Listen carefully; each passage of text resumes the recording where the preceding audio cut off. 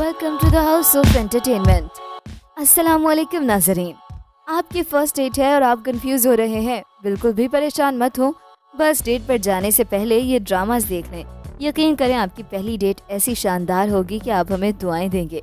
तो वीडियो शुरू करने से पहले आपसे दरखास्त है कि हमारे चैनल को सब्सक्राइब कर दें ताकि हमारी आने वाली तमाम वीडियोस का नोटिफिकेशन आपको मिलता रहे। नंबर टेन सुनो चंदा। सुनो चंदा यूट्यूब पर मौजूद एक बेहतरीन ड्रामा है। ये एक खूबसूरत सीरीज़ है, जहाँ कॉमेडी टाइमिंग बहुत ज़्यादा है। खानदान के अफराद के दरमियान दिखाए गए जज्बात और मोहब्बत बेहतरीन है। ये इन पाकिस्तानी ड्रामों में से एक है, जिसके पूरे एशिया में मदाहों की बड़ी तादाद है। अरसल और अजिया के दरमियान मोहब्बत और नफरत का रिश्ता देखने में बहुत मज़ा आता है।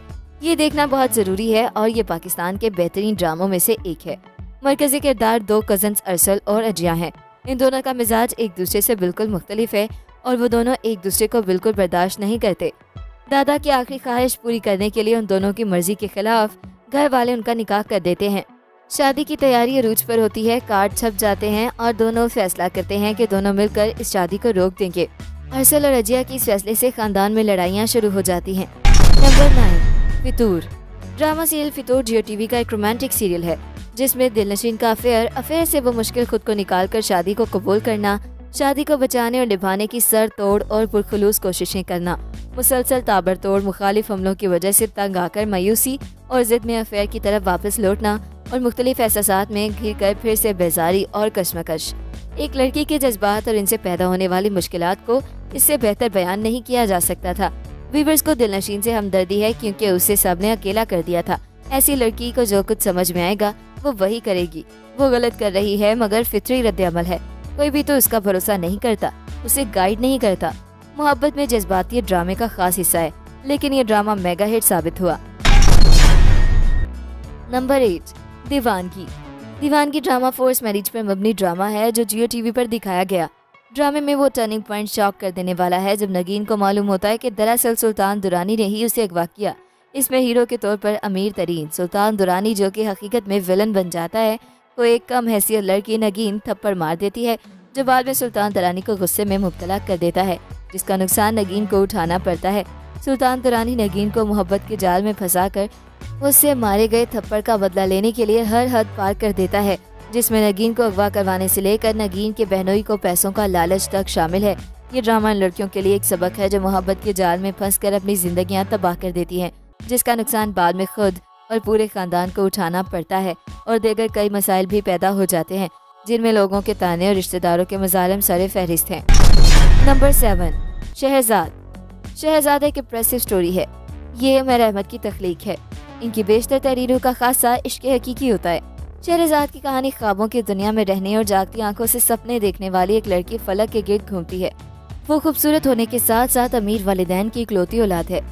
कायनात से बेनतहा लगाव रखने वाली ये लड़की एक दिन यूँ ही अपने ख्याली हीरो का मुजस्मा तराश बैठती है और फिर हकीकी ज़िंदगी में उसकी तलाश के लिए निकल खड़ी होती है। इसी दौरान में उसकी मुलाकात सलमान से हो जाती है। फलक को लगता है जैसे ये वही शख्स है जिसका उसने मुजस्मा तराशा था और जो उसके दिल के नहा खानों में बसता है। वो सलमान को टूट कर चाहने लगती है। सलमान फलक के दिल में अपने लिए नरम गोशा महसूस करता है, मगर वो उसे अपनाने के लिए पूरी तरह आमादा नहीं। उसकी कुछ मजबूरियाँ भी हैं और उसे ये खदशा भी है कि मुमकिन है कि वो फलक को वो मोहब्बत कभी ना दे सकेगा जिसकी उसे तलाश है। वो उसे छोड़ देता है। तब फलक को अल्लाह की हकीकी मोहब्बत की ज़रूरत पड़ती है। Number six Mausam. Drama serial Mausam शुरू में तो बहुत रोमांटिक था, लेकिन फिर रफ्ता रफ्ता सैड होता गया और व्यूवर्स को उदास कर गया। इसकी कहानी के मरकजी किरदार मतवस तबके से ताल्लुक रखने वाली दो सहेलियाँ शाजिया और समन है जो आपस में कजन्स भी हैं। लेकिन उनकी दोस्ती और रिश्तेदारी आशिर से मुलाकात के बाद इम्तिहान में बदल जाती है। आशिर अमीर होने के साथ साथ पुरकशिश भी है। पहले ही मुलाकात में वह समन को दिल दे बैठता है, जबकि शाजिया, जिसकी मंगनी पहले ही फैसल नाम की एक लड़के से हो चुकी है, आशिर को पसंद करने लगती है और उसे मेल जोल बढ़ा लेती है। लेकिन उसे उस वक्त शदीद मायूसी होती है, जब आशिर शाजिया के सामने समन के लिए अपने जज्बात का इजहार करता है। कहानी उस वक्त एक नया मोड़ लेती है, जब शाजिया फैसल से शादी करने से इनकार कर देती है और समन को उसे ज़बरदस्ती शादी करने के लिए मजबूर किया जाता है। Number five Bunty I love you drama serial Bunty I love you एक रोमांटिक और सीडियो स्टोरी है। ये कहानी एक नोमर लड़की दानिया के गिर घूमती है। दानिया अभी उन्नीस साल की थी कि उसकी शादी कर दी जाती है। वो भी बूढ़े शख्स मेहताब पटेल से, जो बहुत ही दौलतमंद है। कहानी कुछ आगे बढ़ती ही है कि मेहताब का इंतकाल हो जाता है। मेहताब की मौत के बाद उसकी जायदाद का बड़ा हिस्सा दानिया के नाम मुंतकिल हो जाता है। इसी दौरान दानिया को एक लड़का बंटी पसंद आ जाता है। मगर बंटी दानिया की बजाय दूसरी लड़कियों में दिलचस्पी लेता है। दानिया बंटी को किस किस तरह अपनी मोहब्बत का एहसास दिलाती है, यही इस कहानी का ताना बाना है। ड्रामे की कास्ट में शामिल हैं सबा कमर नुमान हबीब, महमूद अख्तर, मेहरबानो, रजा जैदी, ख्वाजा सलीम और तारिक जमील। इस ड्रामे को ज़रूर देखिएगा। Number four, Chauraha. Drama serial Chauraha, जो जियो पर ऑनियर हुआ है, ये ऑनियर होने से पहले ही कॉलेजेस वगैरह में बहुत मकबूल हो गया था। ड्रामा सीरियल चुराहा में विकास जुल्फिकार और मदीहा इमाम एक साथ नज़र आ रहे हैं। चुराहा के इनवान से तख्लीक की गई इस कहानी को एडिसन इद्रीस वसी ने अपने कलम से तराशा है, जबकि दिलकश अक्सबंदी के साथ किरदारों को एहसन तालिश की हिदायत ने जिला बख्शी है। इस ड्रामे की इब्तदा एक ऐसे घर से होती है, जहाँ घर के मकीनों को मर्द का साहिबान मैसर नहीं, बाहर के फजा से ला इल्म घर की चार दीवानी में बेवा माँ और फुप्पी की कुल कायनात डिजिटल के पुरफरेब जाल में अपनी सादगी में कैसे उलझती चली जाएगी। ड्रामे के मरकजी किरदारों में मिकाल जुल्फिकार, मदीहा इमाम, बुशरान सारी पेरो सब्जारी, असद सिद्दीकी, सबा हमीद, शबीर जान, आयशा गुल और अरीशा रज़ी खान शामिल हैं। नंबर थ्री, दरार। दरार ड्रामा सीरियल एक मॉडर्न कहानी पर मुबनी है। ड्रामे में दिखाया गया है कि शहीर एक बहुत अमीर आदमी है। वो क्लास जो बगैर सिक्योरिटी गार्ड्स के अपनी अकेली गाड़ी में नहीं निकल सकता।